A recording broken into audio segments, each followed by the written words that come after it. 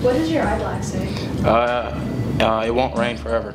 You know, it's and that's it's just what it is, and plain and simple. You know, I'm tired of losing. He's tired of losing. It's time to make a change, and you know, and like I said before, bad things are only good things in disguise. So I know something good's coming. So.